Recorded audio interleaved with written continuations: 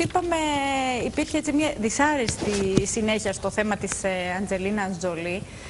Είχαμε λοιπόν ακούσει ότι είχε χάσει πριν, ε, δεν ξέρω πριν πόσα χρόνια ακριβώς. Τη μητέρα, της, το, 2007 από καρκίνο των οθικών. Τότε ήταν 56 η μητέρα της. Πολύ νέα. Πάρα πολύ, νέα. Λοιπόν, αυτός ήταν και ο λόγος για τον οποίο η Αντζελίνα πήγε και έκανε αυτό το τεστ ε, αίματος που σου βγάζει ας πούμε αν ε, υπάρχει κληρονομικότητα Και ίσως στον, και ε, διατηραγμένο καρκίνο. DNA, γιατί αυτό που διάβασα είναι ότι ε, έφερε η θεία το ίδιο μεταλλαγμένο γονίδιο. Λοιπόν, κάτσε γιατί τώρα εσύ έτρεξες, δεν είπαμε, είπαμε για τη μαμά. Ναι. Λοιπόν, ε, τώρα μέσα στο Σαββατοκύριακο η Αντζελίνα έχασε και την θεία της. Ακριβώς. Την αδερφή της μαμάς Τη της. νεότερη αδερφή της μητέρας της. Από καρκίνο του μαστού.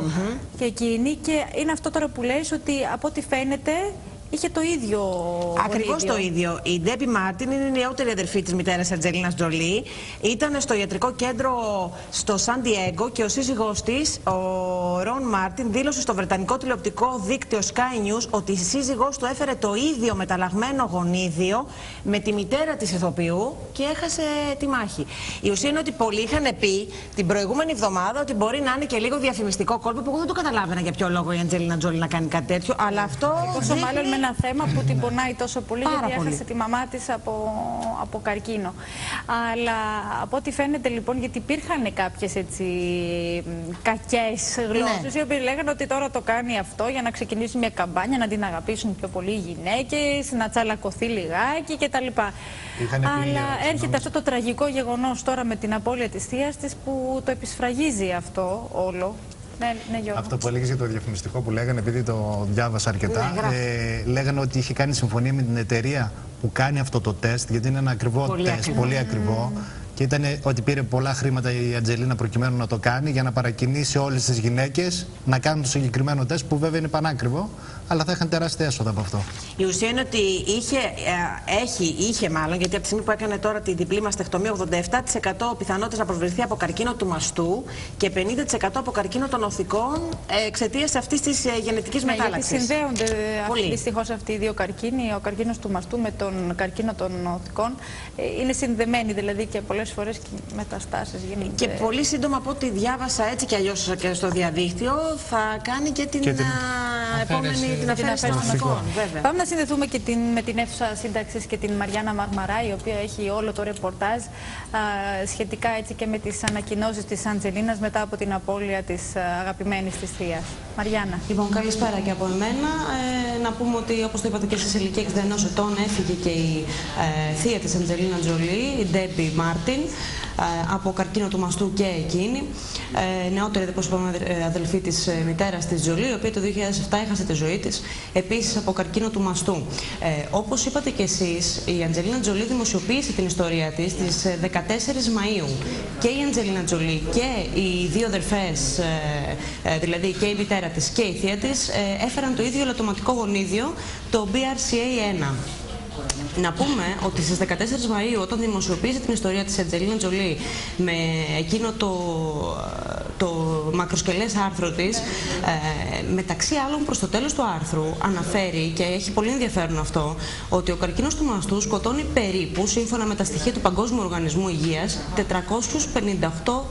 ανθρώπους το χρόνο ε, και να τονίσουμε σε αυτό το σημείο ότι ένα 10% των ανθρώπων που προσβάλλονται από καρκίνο του μαστού και κυρίως ε, από τον καρκίνο που είναι γύρω από τη θηλή είναι και άντρες. Δεν είναι μόνο γυναίκες, γιατί θεωρούμε συνήθως αυτή την ασθένεια καθαρά γυναικεία. Ε, να Ναι, πούμε. και πρέπει να το τονίζουμε αυτό και οι γιατροί έτσι που πηγαίνουν και ενημερώνουν τον κόσμο πρέπει να ενημερώνουν και τους, ε, και τους άντρες. Έχεις απόλυτο δίκιο Μαριάννα γιατί ε, είναι κάτι το οποίο οι περισσότεροι ε, δεν το Το θεωρούν γνωρίζουν. καθαρά γυναικεία ασθένεια. Εν πάση περιπτώσει, στο ίδιο άρθρο λοιπόν, ακριβώς κάτω από αυτά τα στοιχεία επισημαίνει ότι πρέπει να γίνει προτεραιότητα για τις χώρες ε, όπου οι γυναίκες ε, ταξικά Ναι. και οικονομικά ανήκουν στα μεσαία και στα χαμηλότερα στρώματα. Και εδώ να τονίσουμε ότι στην Ελλάδα αυτή η εξέταση που κοστίζει γύρω στις, στα 3.000 δολάρια, πες περίπου 2-2.500 ευρώ. ε, Α, είναι πολύ ακριβή η είναι πολύ εξέταση ακριβή. στην Ελλάδα. Δεν καλύπτεται από κανένα ταμείο. Από κανένα ταμείο. Δηλαδή πρέπει εσύ ο ίδιος είτε να πάρεις κάποιο δάνειο, είτε να πωλήσει κάτι για να κάνεις αυτή την εξέταση, αν έχεις ιστορικό στην οικογένειά σου. Ναι. Πάντως πιστεύω ότι αυτό πρέπει έτσι και με αφορμή ίσως τον τόρο αυτόν που έγινε να ξαναεξεταστεί διότι αυτό που χτύπα ξύλο, δηλαδή θα κοστίσει ε, μια γυναίκα η οποία ε, θα πάθει τελικά κάποιον από αυτούς τους καρκίνους, θα κοστίσει πιο πολλά στον ασφαλιστικό φορέα από το να γίνει αυτή η εξέταση προληπτικά. Βέβαια να πούμε ότι δεν σημαίνει ότι επειδή προχώρησε η Αντζελίνα Τζολί σε αυτή τη διαδικασία, Όχι, γιατί είναι μια ότι τρίμηνη διαδικασία, πρέπει να το όλες, κάνουν ότι πρέπει όλες να το οι κάνουμε γυναίκες, όλες, ασφαλώς και και έχουμε όχι. ιστορικό στην οικογένειά μας, και είμαι και εγώ μία από αυτές. Και ιστο- ιστορικό με μεταλλαγμένα γονίδια. Δηλαδή το να έχει εμένα η μαμά μου περάσει κάτι τέτοιο, η Ακριβώς. γιαγιά μου κτλ. Δεν σημαίνει Δεν το πάθει σημαίνει εγώ. αυτόματα Όχι. ότι υπάρχει κληρονομικότητα. Όχι. Υπάρχουν συγκεκριμένες εξετάσει στις οποίες πρέπει να υποβληθεί η κάθε γυναίκα ξεχωριστά. Το επισημαίνει επίσης στο άρθρο της αυτό η Και Αντζελίνα υπάρχει και Τζολί. ένα ποσοστό το οποίο βγαίνει. Νομίζω, αν, αν δεν κάνω λάθος, στην Αντζελίνα της έβγαινε σχεδόν 90%. Της έβγαινε ότι θα- 87% πιθανότητα 86, να ναι. πληγεί από καρκίνο του μαστού και 50% πιθανότητα για καρκίνο των οφικών. είναι τεράστιο Με αυτή την επέμβαση το μείωσε στο 5%.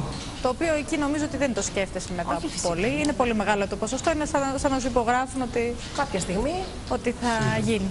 Μαριάννα, σε ευχαριστούμε πολύ. Να είστε καλά.